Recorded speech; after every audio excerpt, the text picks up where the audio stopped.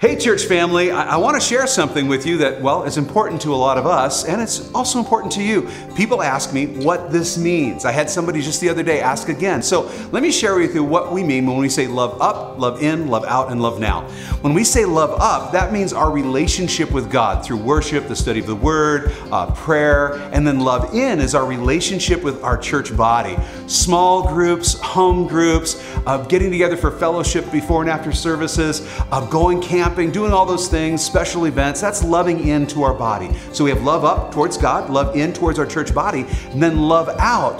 That really speaks of our mission towards our community, taking the love of God that we experience in loving up and loving in out into our community and into the world around us. And so that's love out. And then what about love now? Well, because we believe in an imminent return of Jesus Christ, that the rapture could happen at any moment, that it's time for us to be about the business of loving God, loving each other, and loving our community. We need to be doing it now because the time is short. So, hey, let's be out there. Let's love people. Let's love God, love each other, love our community. Let's do it now. You are loved, you are family. God bless you.